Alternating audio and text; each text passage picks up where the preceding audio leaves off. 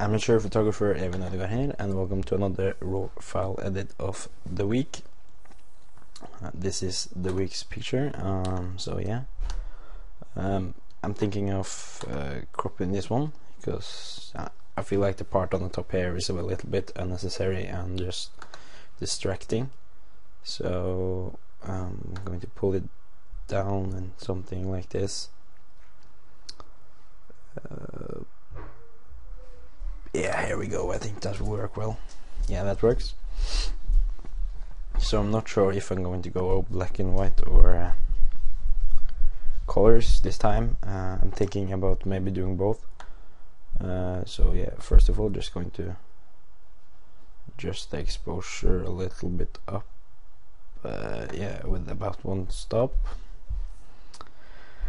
Uh, then adding blacks. Um, something like that. Uh, clarity, always oh, a little too much. Important not to have too much clarity because that just looks stupid. Uh, add some contrast. What? Oh, yeah, something around 70. I think will work. Uh, white balance in this picture, I think it's pretty alright from before, so I'm not going to touch that.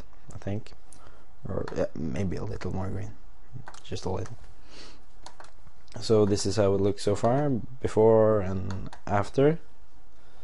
Uh, tone curve think I'm going to leave it uh, just uh,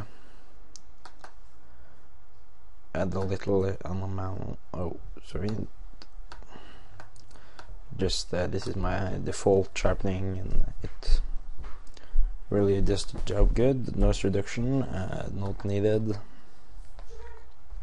so yeah uh, this grayscale part I never convert the picture to black and white here but like I like to because it gives you a feel on how the black and white picture is going to be so you know I like uh, testing it out and see if I'm going to go black and white and uh, stuff so I think I'm going to make a black and white version as well so yeah, uh, split toning, not going to touch that because every time I do it I mess it up. Lens correction, no needed.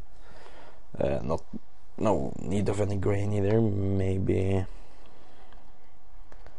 yeah, a little vignetting. That uh, looks good. Just going to adjust the mind point. Here was something like that. Looks great. And then we're going to go open image to get it open in Photoshop.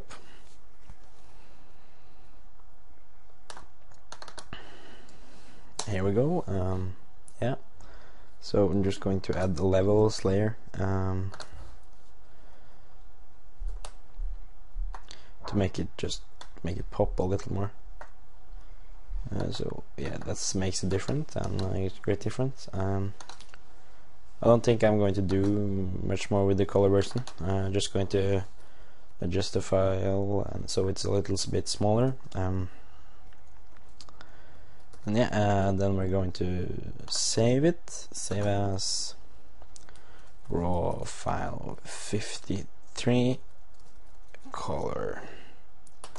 And make it JPEG and click save. Yeah high is good enough for this image. Um, and uh, then it's we're going to delete the levels layer because now we're going to make the black and white version uh, so just add an uh, black and white adjustment layer. Um, there isn't uh, say, the reds here want will affect most of the shadows. Uh, so I'm going to pull that a little down because I want it a little darker because it's a little bright now. Uh, yellow will be his skin so if you pull it down it won't get too dark but have some details in here as well. Um, greens will be the shadows behind him. They I'll pull them all down because I don't need them. Cyan shirt, the lines here. I'll make them strong with pulling them down to black. Uh, jacket darker, more detail, and the magenta. Um, pull it down as well to make the jacket even darker. Uh, his face maybe a little dark but I'll maybe take a look at that later. Um, adding levels layer again. Adjusting and adjusting. Yep that looks good. Uh, brightness contrast. Giving it giving it even more contrast. And uh, some brightness but I'm going to make uh, take the a black brush and paint all over his clothes and uh, the background because I only wanted that layer to affect the face to make that a little brighter. So as you see that makes a, makes a difference. Because his face stands more out and uh, I'm maybe going to sharpen this a bit up uh, uh, filter. Oh you have to select the right layer first.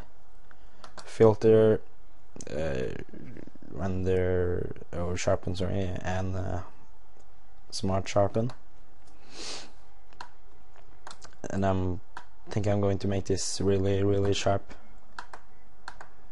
Something like that. Uh, put the amount on 100 and radius on 1 pixel. Uh, it's normally too big to use I think uh, but uh, in this black and white photo it works.